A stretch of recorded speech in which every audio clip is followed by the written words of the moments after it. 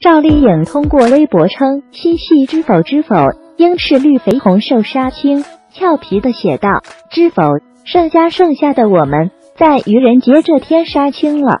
知否，此城受益匪浅。知否，在一个充满正气的剧组里拍戏，踏实感恩。知否，我的词终于说完了。知否，让我缓一缓。我本以为可以这样过下去。”挺好，网友留言称：“恭喜明丫儿杀青，明丫儿辛苦啦！杀青后好好休息，要照顾好自己哦。”风里雨里，知否等你，杀青快乐，期待播出。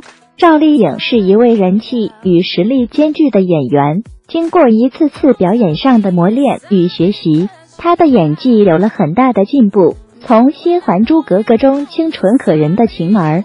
到宫锁珠帘中霸气外露的百合，再到错点鸳鸯中精灵古怪的苏焕儿，她凭借清新脱俗的外貌和纯熟的演技，受到不少观众的喜爱。随着电视剧《花千骨》的播出，她在影视圈也集聚了更高的人气。